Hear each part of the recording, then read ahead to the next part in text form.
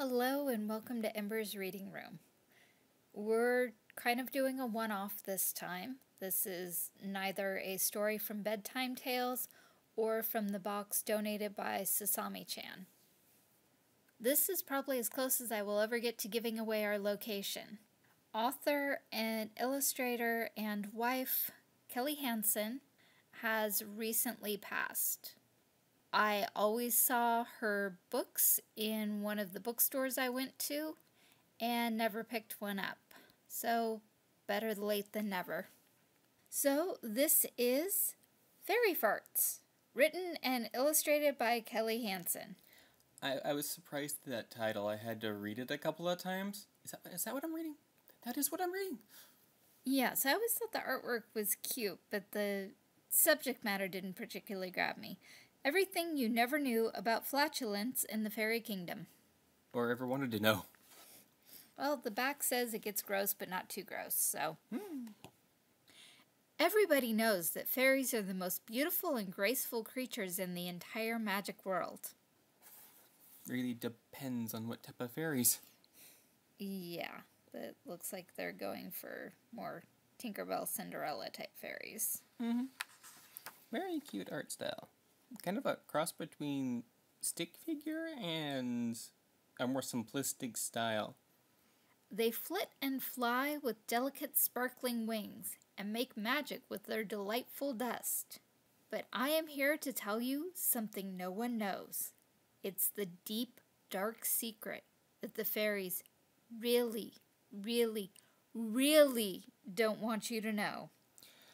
And it's almost except for one of them, it's like they're doing this see no evil, speak no evil, and I can't remember what the other one is. It's a, it's a set of monkeys. Yeah, hear no evil. She's. Except she's grabbing her stomach.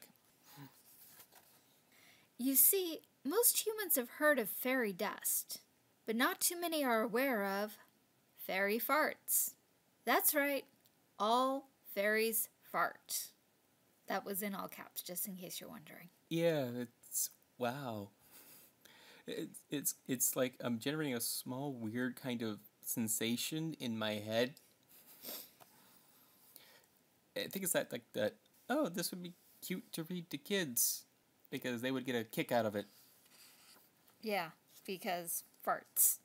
And although the fairies like to think that their farts smell like roses and lilies, the truth is they don't. You can understand why the fairies want to keep the whole thing secret. After all, they have a reputation of grace and beauty to uphold. They usually try their best to be discreet. That squirrel and that bird do not look too happy.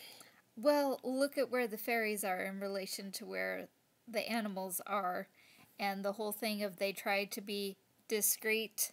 Mm-hmm. Yeah, one's hiding in a log, and the squirrel's on top of that log near a hollowed out not stump, but a hole left over from a branch on the tree stump she's hiding in. And the bird is coming out of a hole in their tree, and the fairy's just behind that particular tree. Unfortunately, despite all the best fairy efforts, sometimes their little secret becomes obvious. Really, I don't know what they expect, especially when you consider the typical fairy diet. Everyone knows that no true fairy can resist a good bean burrito. Ah, that reminds you of that classic quick poem that I'm not going to say right now. Oh, thank you for making me mentally recite it real quick. That's also for everyone out there who probably recited it themselves. And don't even get me started on the fairy fascination with chili cook-offs. Oi. Yeah. That one, though, was a little off. Real chili cook offs have uh, very specific rules about what goes in the chili, and most of them don't allow beans. Ah, interesting. Also, chili is really good. Well, you can get some really good chili out there. I've had some weird chili where like this is chili. Where where's the meat? Well, there are vegetarian chilies. Yeah, but this particular one wasn't meant to be a vegetarian chili. Still, you can see how it could be embarrassing no matter what the reason. Most fairies just try to pretend it doesn't happen. And there's a squirrel pointing at a fairy that's going, What? I, I, I don't smell anything. I meant mouse. The ice fairies have a particularly difficult time with that. Hmm. You know, so cold you can see your breath. Nah. I've never seen a fart in cold weather. All sorts of things this book gets you to think about. Yeah. They're not just embarrassing either. They cause small problems like fairy magic backfires at best. Backfires. I see what you did there. Also, it's in quotes.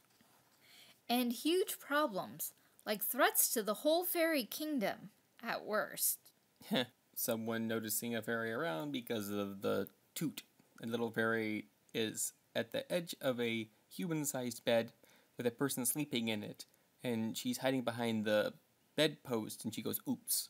Yes, because she almost made it out with the tooth. Ah. Oh, I see now. Tooth fairy. Gotcha. Despite the problems it may cause, farting fairies need to remember that passing gas isn't all bad. There are some perks. Hmm. This kind of actually reminds me of an episode of Foster's Home for Imaginary Friends. oh, Jet, but Olive. Why didn't I see that? No idea why you didn't see this coming. For example, when a tired fairy needs to fly fast, the force of air can be quite helpful. Also, that many, I mean, did you like hold it? It's bad for you. Well, when you're trying to be discreet, sometimes you do. And as humans understand, farting is perfectly normal and can be a whole lot of silly fun when you are with a friend who understands. Ladies and gentlemen, have a skunk and a fairy, and a big cloud behind the skunk. Well, the skunk's um, smell that we associate with them does not come from farting. You knew it comes from a gland near the same area.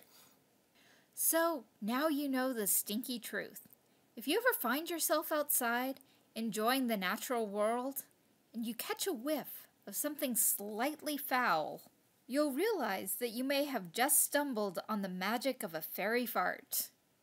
This this book is cute in the oddest way. Right.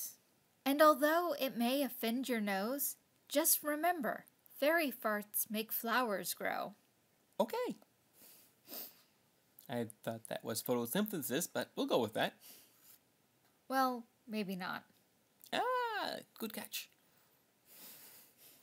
The first picture was a fairy with a bunch of flowers around her. The next picture is a fairy who tooted a couple of times and they are now dead. Well, at least heavily wilted. Yes. The end. Thank you for purchasing Fairy Farts. Oh, cool. Visit findthewaypublishing.com slash fairyfarts to access free printable coloring pages featuring three new unpublished Fairy Farts scenes to color. Hmm, that's a nice tie-in. We'll have to make sure we include that link. Yeah. And that cover is going to be really easy to rework. Of course it is. It's in really good shape. I broke the rules and bought a brand new book at full price. It was worth it. Very much. I'm also talking about the overall design. It's mostly white. Yeah, there's a lot of white space. And this has been Fairy Farts. Everything you never knew about flatulence in the fairy kingdom. Written and illustrated by Kelli Hansen. That was very fun, Kelli. You're definitely going to be missed.